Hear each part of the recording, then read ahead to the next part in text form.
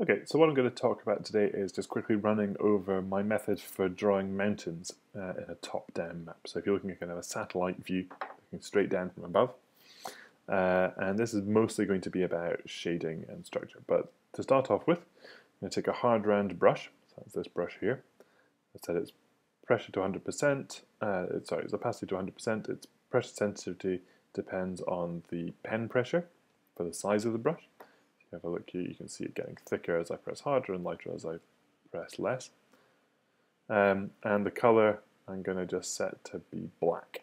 Okay, so I'm going to just use this to define the ridge lines of my mountain. So let's start off just saying, well, I'm going to have a ridge which kind of runs up here uh, and kind of curves around because you know we want most of this particular image to be a mountain range. So that's going to be the kind of the central ridge line. I'm going to have a couple of uh, little promontories which run off here. These mountain ranges tend to have offshoots that kind of run down into foothills. So that gives you kind of the following of how it's going to go. And now I'm going to pick a couple of these like sharp corners to be mountain peaks. So I'm going to show just quickly how the lines of those mountains bleed out.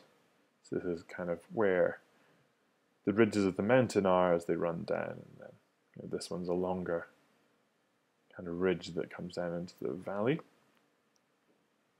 So as you can see here, that kind of starts defining um, how, like over time, the waters eroded this mountain range, and you can see how it would have followed these routes down. If you have a look at kind of a set of satellite maps, you'll see this kind of pattern. Now, this is obviously heavily abstracted, and it's just kind of giving a sense of, of this. But you can see that would be quite a tight valley running down from the mountain peak, and this would be the ridge line running down to the ground. So it helps you just kind of pick out where these things go. And once we've defined the overall ridge lines, then we're going to start getting a feeling for uh, where we're going to need to put the light and the shade once we start getting that done. So uh, I'll just put in the rest of this a bit more quickly. So normally I'd be slightly more careful whilst doing this, but let's just get most of this kind of banged in so we've got an idea of where we're going. So this is another mountain here. So the peaks tend to be the bits where you have lots of lines coming off.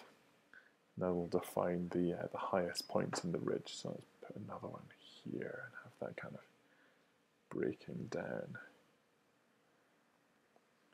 Obviously, the bigger mountain is going to have more detail kind of stretching out from it, so it dominates the landscape around it. Yeah, okay. You can see I'm not being particularly careful, so you get kind of a sense of. You don't really need to worry about being too careful just because you're going to. Um, you're going to be putting quite a lot of detail on top of this, and so any small mistakes you make now are going to disappear, or ideally they can just add to the general chaos. Uh, the real world isn't neatly delineated and doesn't have, it doesn't really have any straight lines, so ideally you want straight lines to not really appear on your map because they'd stand out like a sore thumb. Okay, so that was the, uh, the general outline of the ridge structure. So you just because we put that ridge line in at the beginning, you can still see that this defines the overall shape of our mountain range. Um, but the like the wiggly lines that we're drawing coming off it give kind of the expanse of the mountain range and the sense of cragged, um, craggy, jagged mountain ranges. Okay, so that's that layer there. We're going to leave that layer alone, um, and I'm going to create another layer, put it underneath, and I'm going to call this light and shade. Okay, now what I'm going to do here is use an overlay layer. So I'm going to use a different hard round brush. This time, look at the brush dynamics, you can see that the transfer is ticked, but the shape dynamics are not ticked. So you can kind of see the, um, the effect of the pressure sensitivity here. I'm going to double up that pressure sensitivity, so that means that we've now got the, uh, the sensitivity is due to the pen pressure. So you can do this with a mouse, you would just end up starting off with a much lower overall opacity and build it up in stages. But this way, rather than having to build up a dark color by kind of doing lots of light layers like this and then going back over it again like this and then back over it again like this, which is what you'd have to do with a mouse. Um, I can press light if I want a light texture and then press hard if I want a, a dark color there, okay? So I'm just get rid of that. Okay, I'm going to set the blend mode of this to overlay. This means that when I put in a dark color rather than just putting in kind of black, you can see it now gives us, it darkens down the texture that exists on the map already. Uh, and it shows up the, uh, the underlying texture that's there rather than obscuring underlying texture. Uh, okay, so we are going to assume that the light is coming kind of from this area here. Let me just kind of put you in a light source.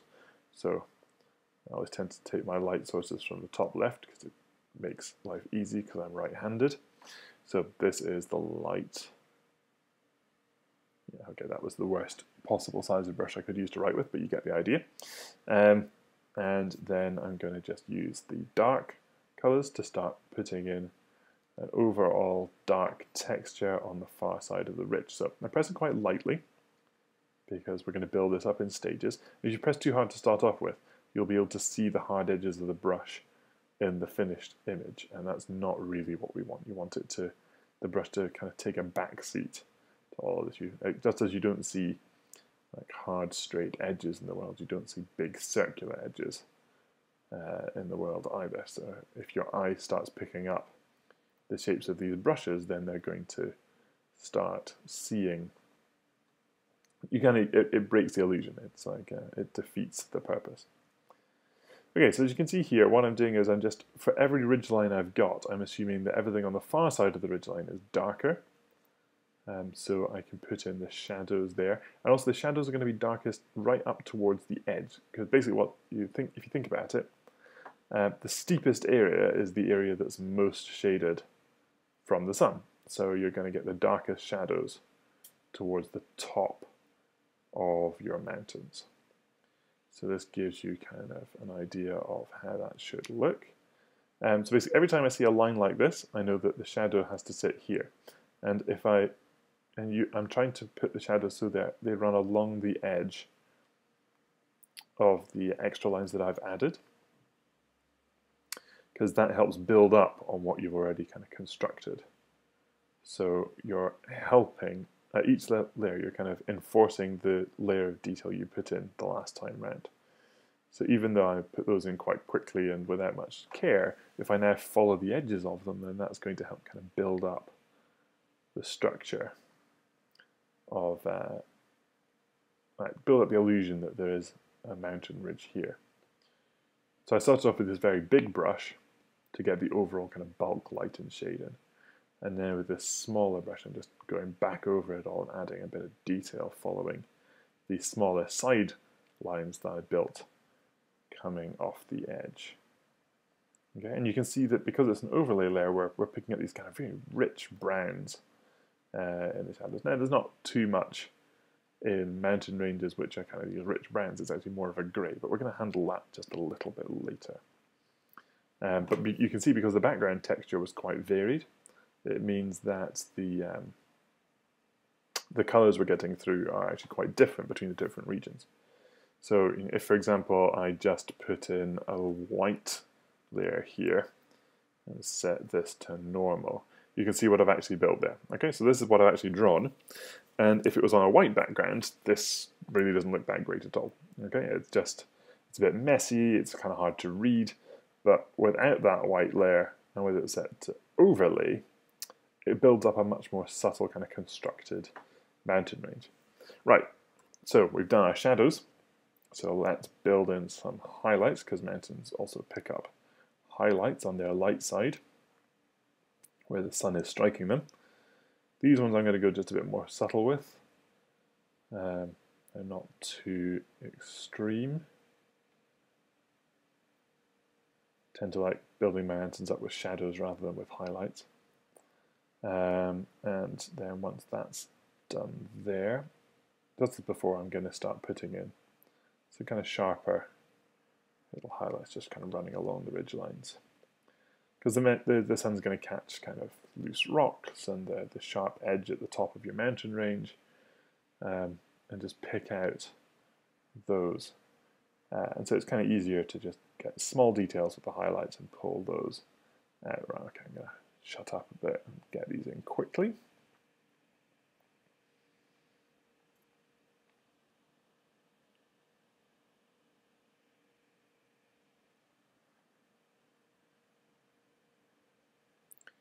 Now the eye generally picks out the brightest part as being the closest to the viewer. So in that case, I'm going to, I'm picking out my, my kind of central mountains, these ones where we've got this nexus of, of points that create the longest ridgeline. So I'm going to make those the brightest points on the map. Uh, and that helps just kind of pull the eye towards those and help sell them a little bit. Um, and then, you know, with these kind of things, it's always worth, worth something worth doing once is also worth doing twice. Uh, and then I'm just going to add a bit of texture to it. So I'm picking up a, a, nice grungy brush. You can have a look around the internet for a grunge brush, or you can uh, make your own. Uh, and then I'm just going to add a bit more on top. So because I'm using two layers, this is now pick, uh, building on top of the, the texture which was built up with the overlays beforehand.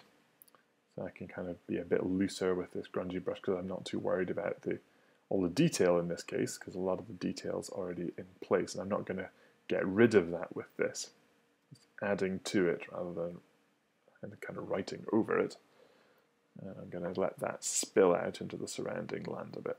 The reason my brush is so enormous in this case is just because um, it means I can press very lightly and because I've got both size and opacity keyed to the uh, the uh, the pressure of the brush. A very light brush will be much smaller than you can see and also much lighter. Um, if I was being a bit more careful, I would, oh, well, why don't I? I'll just bring the brush size, the brush opacity down, so I can work with my brush with just a bit more pressure. Okay, so you kind of see the, uh, the shadows of the ridges being put in here, so that's kind of giving the much more kind of bulk structure of this mountain range. Bleed out into the surrounding area. Uh, I'll bring that back up just a little bit and put in some kind of darker shadows right along the ridgeline.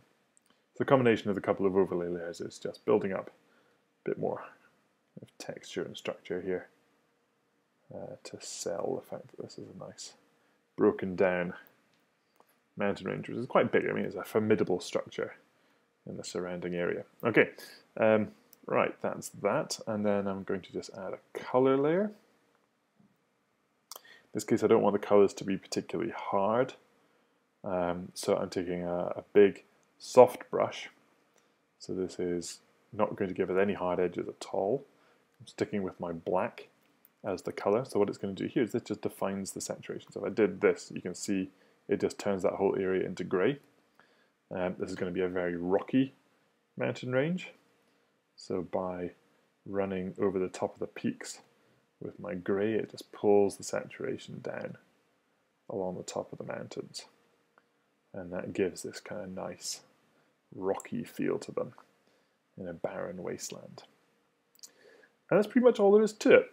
Um, that's generally how I approach doing kind of a satellite mountain range. Uh, if we're talking about a map where you're going to be putting in individual forests and rivers and all the rest of it, then this is quite a nice way to build those up at that scale. If you have a much further out, a, a much more zoomed out version where you wouldn't be able to see individual mountains, you'd just be able to see the range as a whole, um, then I've developed a different technique for that, but that's for a future tutorial. Hope that's useful.